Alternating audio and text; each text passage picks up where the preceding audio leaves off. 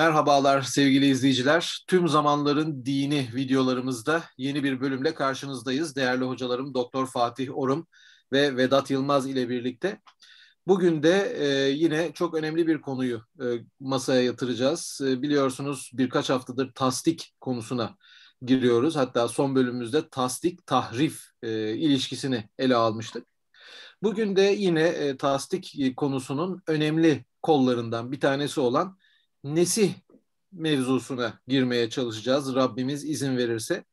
Ee, ve bu tabii nesih konusu ya iyi anlaşılamadığı için ya da bir taraf tarafından, bir kesim tarafından e, fazlaca istismar edilip bağlamından koparılıp e, olur olmaz yerlerde kullanıldığı için e, maalesef ne Kur'an'dan konuştuğunu söyleyenler ne de geleneksel din e, ile e, yolunu bulmuş olan kişiler e, bu konuya doğru yaklaşabilmekteler. Nesih dediğimiz e, mesele sevgili izleyiciler aslında e, Rabbimiz bu konuyu Bakara suresinin 106. ayetinde şöyle dile getiriyor. Estaizu billah. Ma nensah min ayetin ev nunsiha. Biz bir ayeti nesheder veya unutturursak ne'ti bi hayrin minha ev misleha onun dengi, daha iyisini veya dengini getiririz buyuruyor. Elem ta'leme ennallâhe ala külli şeyin kadir. Allah'ın her şeye bir ölçü koymuş olduğunu bilmez misin? Buyuruyor Rabbimiz. Şimdi e, Türkçemizde nesi nasıl anlamalıyız? Mesela Türkçe'de kullandığımız bir kelime nüsha kelimesi belki e, bir kısmımız hatırlayacaktır istinsah diye kullanılan yani bir şeyin kopyasını çıkarma anlamında kullanılan kelimeler e, bu kökten gelen kelimeler yine bu e, Arapçada geçmiş, dilimize geçmiş kelimeler. Nesih de bunun gibi bir e, metin üzerinde veya bir şey üzerinde yapılan e, yenileme ya da işte bir e, temize geçme diyebileceğimiz belki Türkçemizde değişiklik anlamında kullanıyor. Rabbimiz burada biz bir ayeti neshedersek yani onun e, geçerliliğinde bir değişiklik yaparsak yerine e, daha iyisini veya dengini getiririz buyuruyor. Tabi nesih konusuna biz belki e, kavramsal olarak başka programlarımızda gireceğiz. Bugün tasdikle ilişkisi bağlamında e, bir şeyler söylemek istiyoruz eğer e, izniniz olursa. E, bu konuda sevgili izleyiciler Tasdik ne demiştik? Tasdik konusu Kur'an'ın meşruiyetini bile bağladığı bir konu. Ee, yani e, eğer tasdik konusu iyi bilinmezse ve Kur'an önceki kitapları tasdik etmiyor ise o zaman Allah'ın kitabı olması mümkün değil. Dolayısıyla Rabbimiz kitaplar arasına böyle bir ilişki koymuştu. İşte Nesih bu durumda çok önemli bir rol oynuyor. Şöyle ki Rabbimiz e, önceki kitaplarında gelecek son kitapla nesedeceği bir takım e, bilgiler veriyor. Mesela bunlara bir örnek verirsek, işte İsrailoğullarına e, Bakara şey, Nisa suresinin e, 161. E, ayeti olması lazım. E, oralarda o ayetlerde e, söylendiği şekliyle onların işte e, yaptıkları yanlışlar, faiz yemeleri, riba e, yemeleri sebebiyle e, onlara e, normalde helal olması gereken yiyecekleri haram kıldığını ve bu vesileyle onları bir tür cezaya çarptırdığını söylüyor ve bu çok ağır bir ceza. Bunun detaylarına belki e, ilerleyen programlarımızda ya da bugün Vedat hocamız girebilir. E, o kadar ağır bir ceza ki neredeyse yiyecek bir şey kalmıyor kendilerine. İşte e, bu e, konudaki bu cezanın kendilerinin üzerinden kaldırılması nesih ile e, gerçekleşiyor. Bunu da Kur'an gerçekleştiriyor. Yani Kur'an bu cezayı yürürlükten kaldırıp e, olması gereken eski haline yani o cezaların getirdiği haramlığı ortadan kaldırarak bir takım zorlukları ortadan kaldırıyor. Bu da nesih oluyor yani bu e, konuda nesih yapmış oluyor. Şimdi bunlar bilinmeyince yani tasdik ve nesih ilişkisi doğru e, kurulmayınca veya anlaşılmayınca bu kez birçok e, konuda Kur'an'a bakışta bir takım sıkıntılar meydana geliyor. Mesela bunlardan bir tanesi hepiniz e, bileceksiniz, hatırlayacaksınız. Maide suresinin, suresinin 6. ayetindeki abdest konusu. İşte bu konuda e, bakıyorlar rivayetlere baktığınız zaman Nebimiz ayaklarını hem mesetmiş bir bir zamanda yıkamış. Dolayısıyla acaba mes mi edilmeli? Ayette mesetmek mi diyor, yıkamak mı diyor? E, bitip tükenmek bilmeyen ve yıllar süren, uzun süreler alan bir tartışmalar silsilesi haline gelmiş.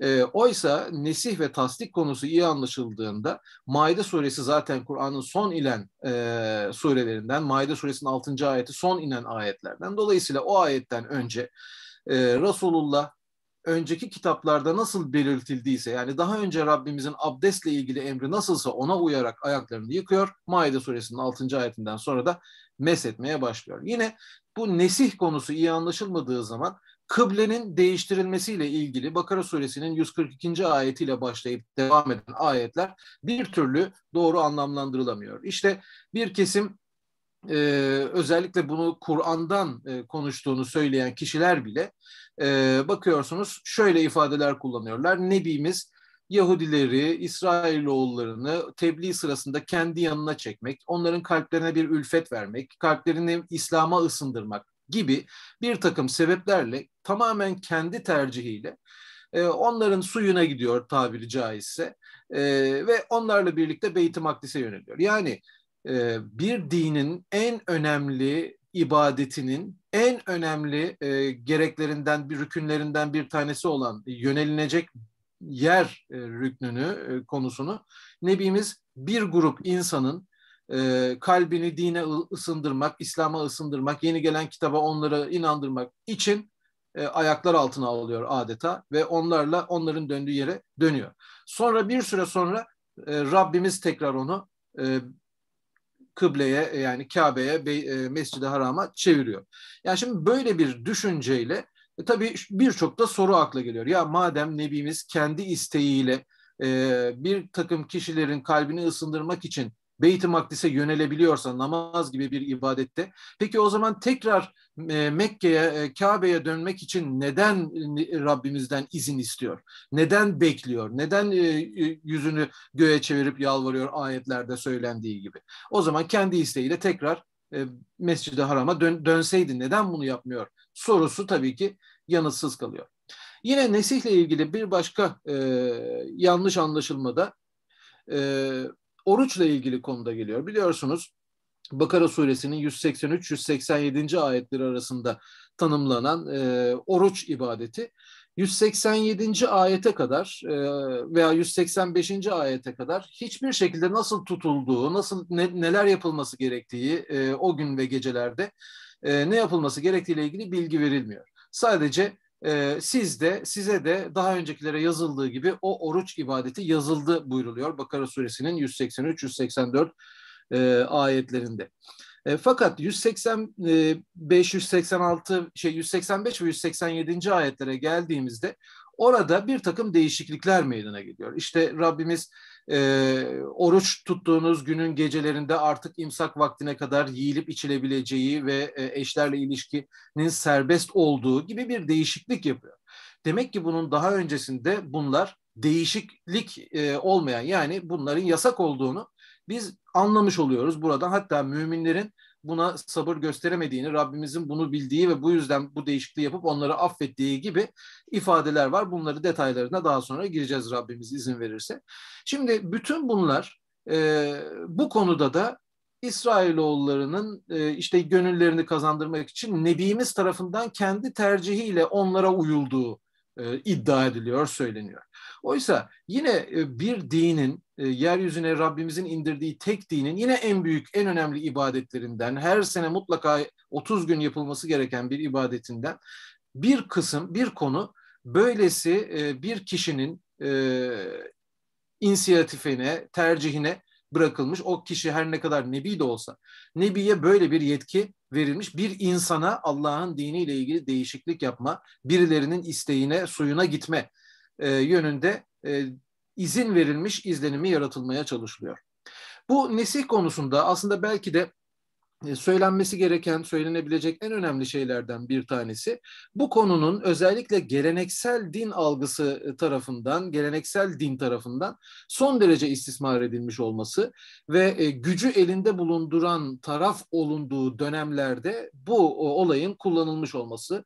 Ne demek istiyoruz? İşte e, müşriklerin görüldüğü yerde öldürülmesi, kafirlerin öldürülmesi gibi bir takım konularda e, Kur'an'ın onca ayetine rağmen e, uygulamalar yapılmış ve bu uygulamaların sebebi de gerekçesi de neshe bağlanmış. Neden? Tevbe suresinin 5. ayetinin 500 civarında bazı söylemlere göre, bazı söylemlere göre 100-150 civarında ayeti nesettiği, hatta bu yüzden kılıç ayeti, seyf ayeti ismini aldığı iddia edilmiş. Bir ayete yüzlerce ayet tamamen keyfi bir şekilde e, nesettirilmiş. Oysa Rabbimiz neshi kendi üzerine, kendi e, tasarrufuna alıyor. Başka kimseye bu konuda bir yetki vermiyor. Biz böyle bir nesih yaptığımızda yerine daha iyisini veya dengini getiririz diyor. Halbuki Tevbe suresinin 5. ayetiyle e, gayrimüslimlerle barış e, içerisinde yaşanması gerektiğine dair ayetler ortadan kaldırılarak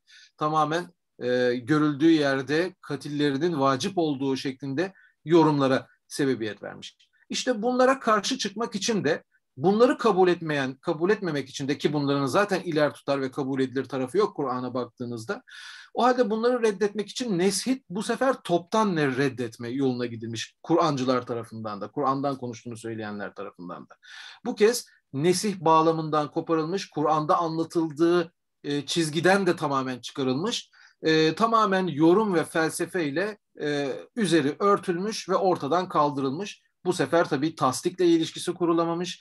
Kur'an'ın önceki kitaplarla ilgili ilişkisi kurulamamış ve işte az evvel verdiğim örneklerde olduğu gibi örneğin kıblenin değiştirilmesinde Nebimize böyle bir yetki verilmek zorunda kalınmış. Peki nedir bu konunun esası? Kur'an bununla ilgili bize ne söylüyor? Tasdikle ilişkisi nasıl e, yürürlüğe sokulmalı, nasıl devreye sokulmalı? E, kur, nesi, Neshin kitaplar arası ilişkiler ve tasdik sistemi içerisindeki önemi ve yeri nedir? İşte bugün değerli hocalarımız Doktor Fatih Orum ve Vedat Yılmaz'dan da bu konularda bilgiler alacağız. Fatih Hocam buyurun, hoş geldiniz. Hoş bulduk, teşekkür ederim. Yani ben e, Nesih konusunun bu kadar kısa sürede e, bu kadar e, net ve hatasız bir şekilde anlatılacağını söyleselerdi inanmazdım. Estağfurullah hocam Allah razı olsun. Konuyu bildiğimi zannetmeme rağmen e, hakikaten e, çok güzel bir şekilde çerçevesini çizdiniz. Söylenilebilecek her şeyini söylediniz aslında. Bundan sonrası işin tamamen detayı. Yani o kadar önemli şeyler söylediniz ki gerçekten de e, bugün e, sizin e, o anlattığınız ve bugün bizim e, hadisleri, hadislerin e, keyfiyetini, e, hüküm koyup koyamayacağını, e, Kur'an-ı Kerim'in dışında vahiy olup olmadığına dair bütün bugün tartışılan, yüzlerce yıldır tartışılan e, bütün meselelerin temelinin aslında bu olduğunu güzel izah ettiniz. E, ve e, işte bizim geleneğimizde nesih denildiğinde nesin maalesef aslında Allahü Teala'nın e, pek çok vasfını ve sıfatını da zedeleyici bir tarzda nesin tekamülle ilişkilendirildiğini görmekteyiz. Yani Allahü Teala baktı ki zamanla işler e, farklı bir mecaya aktı. O zaman şimdi artık şunu söyleyelim veyahut evet şimdi tam istediğim, e, hedeflediğim çizgiye geldik. Şimdi işte şunu söyleyeceğim e, veyahut işte ümmeti Muhammed'i çok e, diğerlerinden e, ayrıcalıklı olarak e, düşündüğü, tasarladığı için onlara kolaylıklar e, bahşeden e, bir e, yüce yaratıcı ve bu yüce yaratıcının kitabındaki nesin de bununla ilişkilendirilmesi meselesi var. Bunlar hakikaten sadece e, teorik şeyler değil, itikadi olarak, inanç olarak da çok çok sıkıntılı şeyler. E, öte taraftan e, ben e, bunları hiç doğru bulmuyorum deyip to, toptan e, bunları e, yok sayan Kur'an-ı Kerim'de olsa dahi yani tamamen keyfilikten, kurgulardan ve hayallerden e, müteşekkil bir nesih e, anlayışı var. Tasdikle alakalı olarak siz e, e, tasdik ve nesih ile alakalı olarak Bakara suresinin 106. ayetiyle başladınız. Zaten e, bu böylesi bir programda ser levha yapılacak ayet o. E, nesin bir nevi tanımı, e, mahiyetini e, ifade ediyor. Orada misil ve hayır ifadelerinden e, Rabbimiz bahsediyor. E, yani Muhammed e, Aleyhisselam da dahil olmak üzere tüm nebilerin şeriatında bir şekilde nesihle ilişkilendirilen bir takım hükümler var. E, bu da e, omurgayı oluşturan, e, geleneksel e, rutin uygulamayı ifade eden pek çok şeyin aynen bütün e, şeriatlarda korunduğu ama bunun dışında bir takım sebeplerle ki bundan sonraki programlarda konuşulacaktır muhtemelen bir topluluğun yapmış olduğu bir takım hatalar sebebiyle hüküm değişikliği cezaen ceza olarak veyahut imtihan unsuru baskın e, olarak bir takım hükümlerin geçici bir süre değiştirilmesi ve daha sonra da e, e ilk e, haline irca e, dolayısıyla e, o geçici hükümden daha iyi olan, hayırlı olan ilk haline irca şeklinde neslin gerçekleştiğini görüyoruz. Ben burada e, bir e, örnek üzerinden e, bu e, tasdik ilişkisinin ve e, bu tasdikte de misil yani misliyle zaten olanın olduğu şekliyle e, bütün e, şeriatlarda yerini koruduğuyla alakalı bir örnekten e, bahsedeceğim. Yani bu e, tasdik e, meselesi o kadar e, önemli bir mesele ki e, Muhammed Aleyhisselam'ın e, daha işin başında önünü açan, e, ona e, rota çizen e, de yine e, bu tasdik ilişkisinin farkında olan insanlar. E, mesela Kur'an-ı Kerim'de sıkça buralarda dile getiriyoruz. Kasas suresinin 51. ve devamındaki ayetler, e, İsra suresinin 107, 107 ve devamındaki ayetlerde Muhammed Aleyhisselam ile karşılaştığında e, secdeye kapanan e, ve dakikalar içerisinde e, senin e, okuduğun şeyler Allah'ın ayeti e, ve sen de e, nebisin, onun göndermiş olduğu bir nebisin dedirtecek kadar e, güçlü bir kavram, e, tasdik kavramı. Bunu e, Muhammed Aleyhisselam'a e, ilk ayetler indiğinde de biz e, görüyoruz. E, hepimiz biliyoruz Muhammed Aleyhisselam'a ilk vahiy geldiğinde e, zaten e, tabii olarak herkesin kabul edeceği şekilde Muhammed Aleyhisselam bunları anlamakta, bunları zihninde bir yere oturtmakta zorlanmış olmalı. Zaten ilk inen ayetlere bakıldığında bu tedirginliğin, bu endişenin, bu kafa karışıklığının olduğunu çok rahatlıkla görürüz. Bize anlatılanlar da benzer şeyler zaten.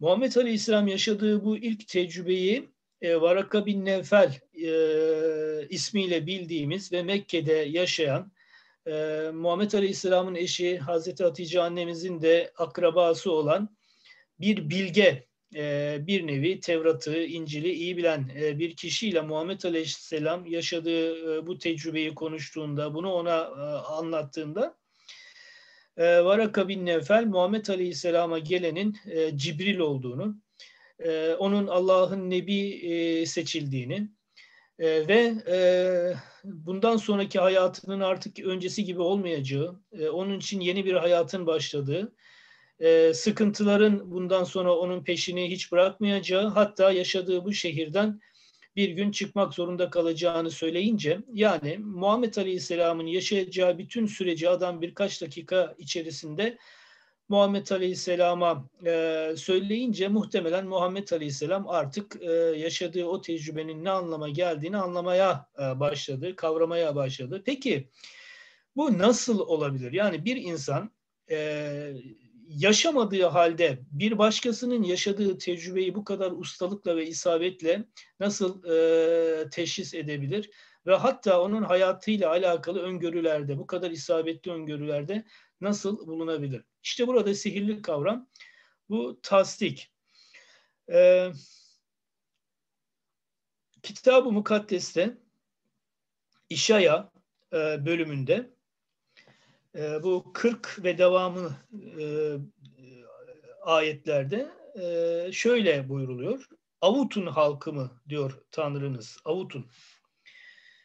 Yaruşalim halkına dokunaklı sözler söyleyin. Angarya'nın bittiğini, suçlarının cezasını ödediklerini yani e, bir takım e, cezaların, bir takım geçici hükümlerin de artık e, hayırlısıyla neshedileceğinin e, zamanının geldiğini, günahlarının cezasını Rabbin elinden iki katıyla aldıklarını ilan edin. Şöyle haykırıyor bir ses, çölde Rabbin yolunu hazırlayın. Bozkırda Tanrımız için düz bir yol açın. Hazırlayın. Bozkırda Tanrımız için düz bir yol açın ya da çölde haykıran Rabbin yolunu hazırlayın, geçeceği patikaları düzleyin diye sesleniyor. Her vadi yükseltilecek, her dağ, her tepe alçaltılacak. Böylelikle engebeler düzleştirilecek. Sarp yerler ovaya dönüştürülecek. O zaman Rabbin yüceliği görünecek, bütün insanlar hep birlikte onu görecek. Bunu söyleyen Rab'dir. Şimdi 6. ayete geliyorum. İşaya 40'ta. Ses duyur diyor. Neyi duyurayım diye soruyorum. İnsan soyu ota benzer, bütün vefası kır çiçeği gibidir. Rabbin soluğu esince üzerlerine ot kurur, çiçek solar. Gerçekten de halk ottan farksızdır. Ot kurur, çiçek solar ama Tanrımızın sözü sonsuza dek durur. Burada 6. bölümde duyur ifadesi bugün İbranice metinlerde küf, reş, alef harfleri. Yani bunların e, Arap alfabesindeki karşılıkları kaf, ra ve elif yani karae.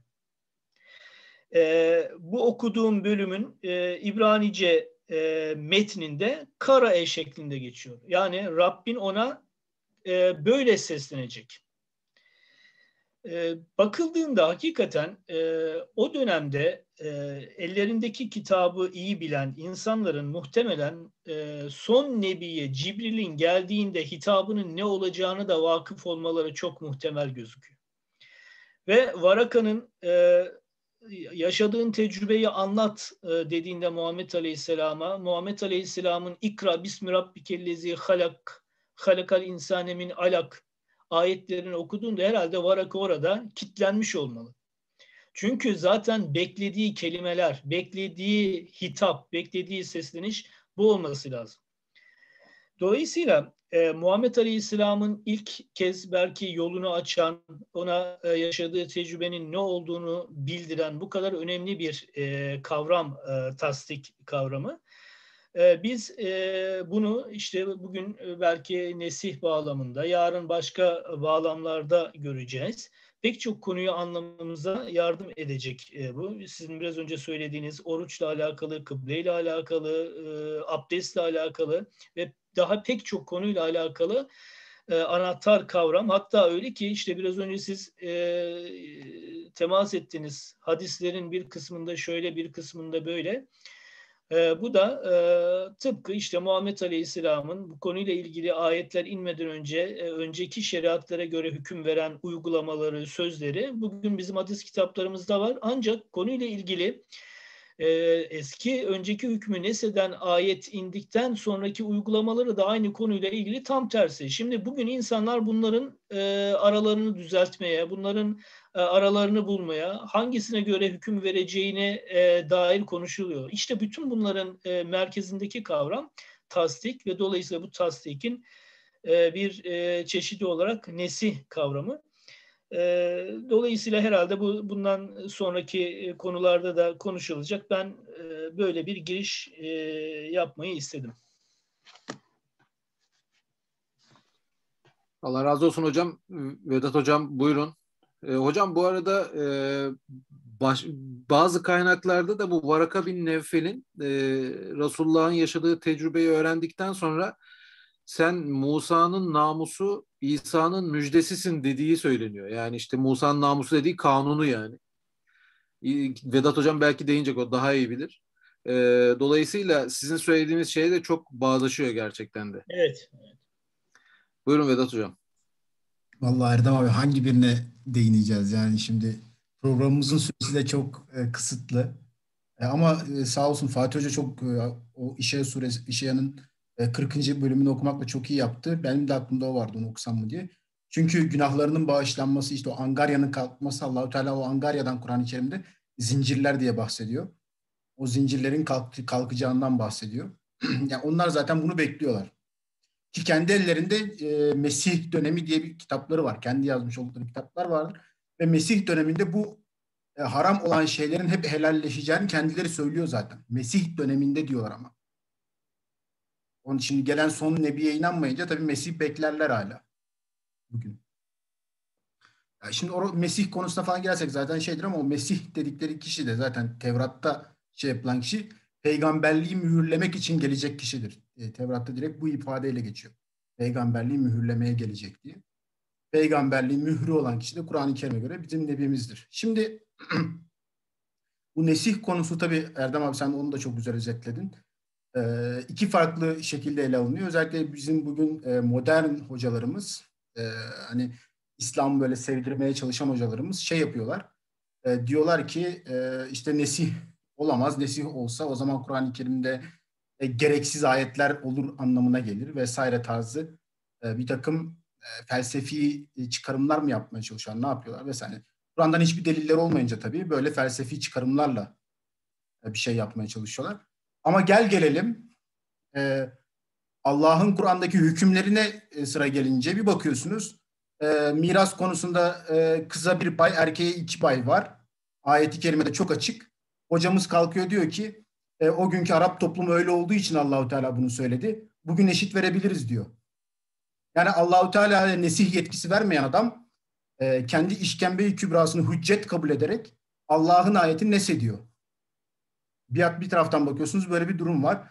E, bu adamların ne kadar aslında e, samimi olmadıkları bu örneklerden belli oluyor. Yani hiç onlara girmeye gerek yok. Kıble konusundan bahsetmek istiyorum. Çünkü kıbleye e, değindin Erdem abi sen de. E, şimdi kıble e, örneği Allahu Teala'nın zaten Kur'an-ı Kerim'de ayetlerde o 142'den itibaren e, izleyenlerimiz okurlarsa görürler. Şimdi vaktimiz az olduğu için o ayetleri de tek tek okumamız e, vakit alır. Allahu Teala orada diyor kendilerine kitap verilenler bunun Rablerinden bir hak olduğunu bilirler diyor. Kıble örneğiyle ilgili. Yani bu şu anlama geliyor. Kıble değiştiği zaman, kıblenin değiştiğini bildiren ayet geldiği zaman oradaki kitap verilenler, Yahudiler ve Hristiyanlar bunun hak olduğunu biliyorlar. Yani böyle bir şeyin gerçekleşeceğini, e, bunun yakın olduğunu biliyorlar ve bekliyorlar. Bu olayın gerçekleşeceğini bekliyor. Allahu Teala bunu zaten e, net bir şekilde hatta devamında gelen şey de bunu, onu kendi oğullarını tanıdıkları gibi tanırlar. Yani oradaki onu dedik dediği şey hu zamiri kıblenin değişmesi olayına gidiyor. O ayetleri böyle önüyle arkasıyla beraber şey yaparsan yani Allahu Teala bu olayı çok iyi bildiklerini söylüyor. E nasıl biliyorlar bu olayı peki? Şimdi e, kısaca hem Tevrat'tan hem e, İncil'lerden örnekler vereceğim. İlk vereceğim örnek yine Fatih Hoca'nın da söylediği Yeşaya kitabından. 35. babın başını okuyorum. Şimdi e, tabii elimizdeki çevirileri okuduğumuz zaman e, ibareler bize çok anlamsız geliyor.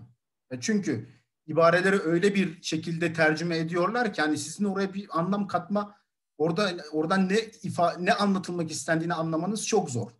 Sadece çeviriden giderek çok detaylı araştırmanız gerekiyor. Mesela 35. babın başında şöyle hemen şöyle başlıyor.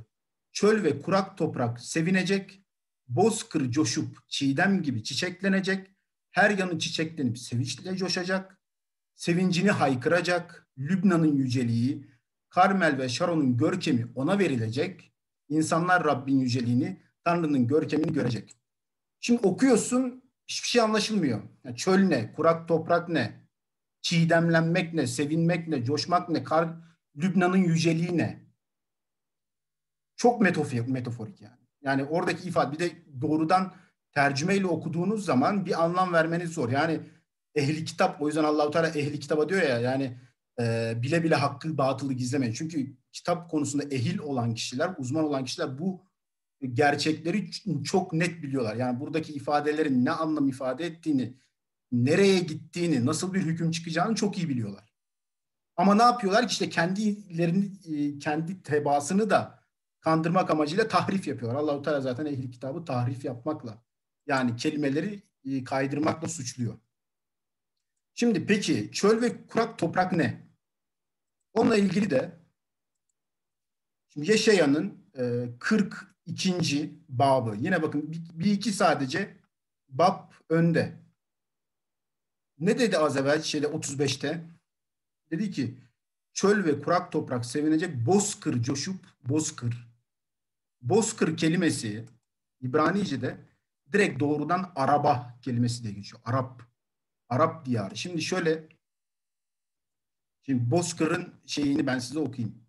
42. pasajda. Diyor ki Bozkır ve Bozkır'daki kentler, Kedar köyleri, Kedar köylerinde yaşayan halk sesini yükseltsin, Sel'a'da oturanlar sevinçle haykırsın, bağırsın, dağların doruklarından bağırsın. Şimdi Bozkır, Bozkır'da yaşayan kentler neymiş onlar? Kedar köyleri.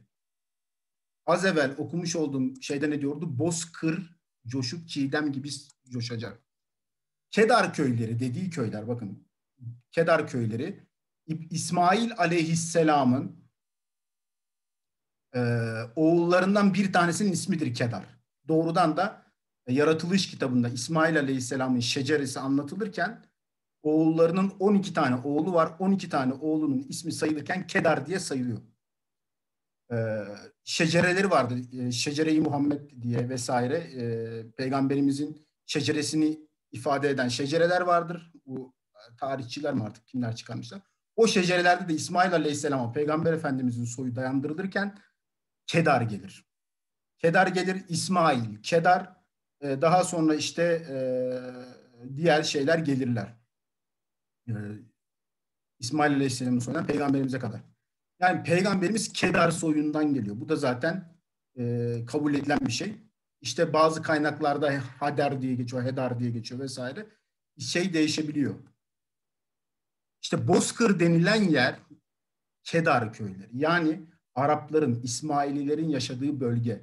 Ve diyor ki Tevrat, e, Bozkır coşup çiğdem gibi çiçeklenecek. Lübnan'ın yüceliği, Karmel ve Sharon'un görkemi ona verilecek diyor. Lübnan'ın yüceliği ve Karmel ve Sharon'un görkemi kısmı aç, açsınlar yani eğer bakma imkanı olanlar baksınlar Yahudi tefsircileri tarafından mabedin yüceliği olarak yorumlanmış. Mabedin yüceliği. Lübnan mabedi simgeliyor çünkü. Yani Süleyman mabedini. Süleyman mabedinin yüceliği ona verilecek diyor. Şimdi Süleyman mabedinin yüceliğinin çöle verilmesi, Süleyman mabedinin yüceliğinin bozkıra verilmesi doğrudan literal olarak okuduğunuzda ne anlamı ifade ediyor? Hiçbir anlam ifade etmiyor. Ama Bozkır'da, o Kedar köylerinde Süleyman mabedinin uzantısı olacak başka bir mabet varsa eğer o zaman bir anlam ifade eder. Onun yüceliğinin ona verilmesi. Ki e, bunun karşılığı olabilecek. Yani o Kedar köyleri, bütün Arap diyarı içerisinde, Hicaz bölgesi içerisinde tek bir mabet vardır. O da Kabe. Mescid-i Haram. O da zaten Tevrat dönemi İbrahim Aleyhisselam'a kadar uzanan geçmişi olan İbrahim Aleyhisselam zamanında inşa edildiği zaten şey olan bölge. Allahu Teala Süleyman Mabedi'nin yüceliğinin, görkeminin Kabe'ye verileceğini çok net bir şekilde söylüyor ve bunu e, işte kitaplarında uzman olan kişiler çok net bir şekilde de anlıyorlar. Yani Kabe'ye tekrardan Kabe'nin kıble olacağını söylüyor. Şimdi İsa Aleyhisselam geldiği zaman da bunu hatırlatıyor. İsa Aleyhisselam ne diyor? Ee, İsa Aleyhisselam'ın e, Beyt-i Makdis vaazı vardır. Beyt-i Makdis vaazında peygamberimizin müjdelediği vaazdır bu. Orada Beyt-i Makdis'in içerisine girer yani şey Süleyman Mabedi'nin. Orada peygamberimiz müjdeler. Mabetten dışarıya çıkarken böyle hınca hınç e, şey e, yakalasalar linç edecekler orada. O kadar öfkeleniyor Yahudi uleması. Onlara son gidişinde şunu söylüyor. Yani oradan çıkarken Ey Yeruşalim, peygamberleri öldüren, öldüren, kendisine gönderilenleri taşlayan Yeruşalim, tavuğun civcivlerini kanatları altına topladığı gibi ben de kaç kez senin çocuklarını toplamak istedim ama siz istemediniz. Bakın, bakın burada söylediği şey çok önemli. Oradaki Yahudi ulemasına söylüyor. Bakın işte eviniz ıssız bırakılacak. eviniz ıssız bırakılacak. Ev kelimesi burada ev diye çevrilen kelime beyt kelimesi. Sizin beytiniz ıssız bırakılacak diyor. Onların evi beyti neresi? Onların evi Süleyman Mabedi. İşte zaten beytten çıkıyor o sırada. İşte bu beyt var ya bu beyt ıssız kalacak diyor. Neden ıssız kalacak? Çünkü onlar da biliyorlar e, kıble olma özelliği Kabe'ye geldiği zaman artık bu beytin hiçbir önemi kalmayacak. Issız kalacak. Ve devamında bizim nebimizle alakalı bir cümle kuruyor. Diyor ki size şunu söyleyeyim. Rabbin adıyla gelene övgüler olsun diyeceğiniz zamana dek beni bir daha görmeyeceksiniz. Rabbin adıyla gelene. Bizim nebimizin hem Tevrat'ta hem İsa aleyhisselamın dilinden e, sıfatlarından bir tanesi Rabbin adıyla gelendi. Tevrat'ta da bu şekilde geçer. Bu yüzden Kur'an-ı Kerim'in ilk ayeti oku Rabbin adıyladır. Çünkü onların hepsi Rabbin adıyla geleni bekliyor. Beni bir daha görmeyeceksiniz diyor. Çünkü Yahudiler İsa'dan kurtulduğunu zannediyorlar. Ta ki Kur'an-ı Kerim İsa aleyhisselamı yüceltip tekrar onların karşısında siz bu adamı inkar ettiniz, siz bu adama hakaret ettiniz ama bu adam gerçekten peygamberdi. Doğru söylüyordu. Siz hatalıydınız diyene kadar. İsa Aleyhisselam'dan kurtulduklarını zannediyorlar. Ta ki Kur'an-ı Kerim İsa Aleyhisselam'ı yüceltene kadar onlar işte o yüzden o gelene kadar bir daha beni görmeyeceksiniz diyor. E, şimdi mesela e, şuraya geleyim bir de 51. E, pasaj. İşeya'da 51'de az evvel çöl bozkır tabirleri çöl ve bozkır neyi ifade ediyor? Onunla ilgili söyleyeceğim. Rab Siyon'u Siyon'u ve bütün yıkıntılarına uğutacak. Siyon çölünü Aden'e, Bozkır'ı Rabbin bahçesine döndürecek. Bozkır'ı, Bozkır yani bak hep böyle şey ifadeler, muğlak ifadeler. Bozkır'ı Rabbin bahçesine döndürecek. Sonra ne diyor? Orada coşku, sevinç, şükran ve ezgi olacak. Siyon çölünü Aden'e, e, Bozkır'ı Rabbin bahçesi. Şimdi Siyon çölü ne peki? Mezmurlar 84. bapta hemen şöyle söyleniyor. Ne mutlu senin evinde oturanlara. Ev kelimesinin beyt manasında geldiğini söylemiştik. Bu da işte Kabe. Senin evinde oturanlara ne mutlu. Seni sürekli överler. Ne mutlu gücünü senden alan insana. Aklı hep Siyon'u ziyaret etmekte. İnsanın haklı sürekli nereyi ziyaret etmektedir? Haç nesih olmuyor. Haç hep vardır. İnsanın aklı fikri, bir müminin aklı fikri daima Kabe'yi ziyaret etmektedir. Aklı fikri hep Siyon'u ziyaret etmekte Bekke Vadisi'nden geçerken Pınar başına çevrilir orayı. İlk yağmurlar orayı berekete boğar gittikçe güçlenir. Siyon'da Rabbin huzuruna çıkarlar. Siyon neresiymiş? Siyon Rabbin huzuruna çıkılan bir yer. Eskiden beri yani İslam gelmeden önce de Arap kültüründe, Araplarda telbiye diye bir şey vardı. Her kim Kabe'yi te- e, ziyaret ederse telbiye getirerek ziyaret eder. Lebbeyk Allahümme lebbeyk. Çünkü orada Rabbin huzuruna çıkma düşüncesi Kur'an'dan önce de vardı. Şeyde de öyle. Oraya gelirler ve orada Rabbin huzuruna çıkarlar diyor. Siyon yani şeyi ifade ediyor. E, Kabe'nin bulunduğu bölgeyi Mescid-i Haram'ı ifade ediyor. Bozkır da orayı ifade ediyor işte.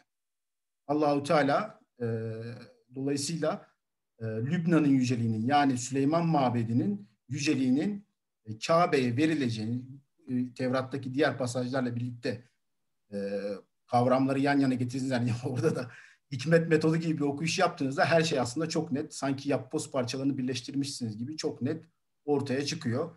Ama e, bu parçaları ayırıp kavramları e, tahrif edince tabii ki insanlara böyle okuyunca ne olduğu belli olmayan bir takım bilgiler çıkıyor. Başka hiçbir şey çıkmıyor. E, kısaca bunları söylemiş olayım çünkü vaktimiz çok az kaldı ama dediğin gibi Erdem abi aslında konuşulacak çok fazla şey var. Ee, inşallah zaten e, serimiz devam edecek. Rabbimiz ömür verdikçe biz de bunları e, izleyicilerimize ulaştırmaya çalışacağız. Allah razı olsun. E, hepinize hayırlı akşamlar değerli izleyiciler. Hoşçakalın.